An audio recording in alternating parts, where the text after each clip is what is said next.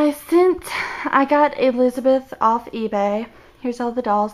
Um, I got Elizabeth on eBay with my own money and I sent her to the doll hospital because her hair was pretty frizzy, frizzy and um, her pin curls were cut off so I'm going to open her.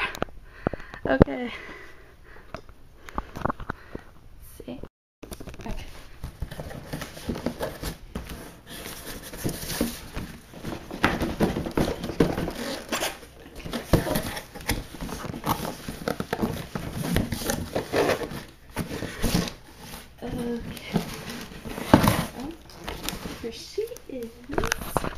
Alright, so.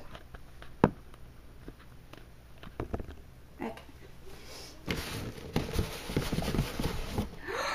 Oh, she is so pretty.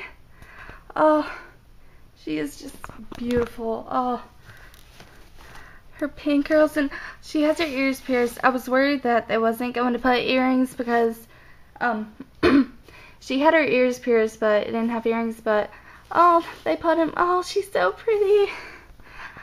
Well, alright, I'm going to get her out. Okay, so I got her at the box and she is so pretty. She's like brand new. She's like a brand new doll now. They gave her earrings and she's so pretty. If you want Elizabeth, you should definitely get her. oh, I love her. She's so cute. Alright, so, yeah, so there will be a video of her soon, and thanks for watching.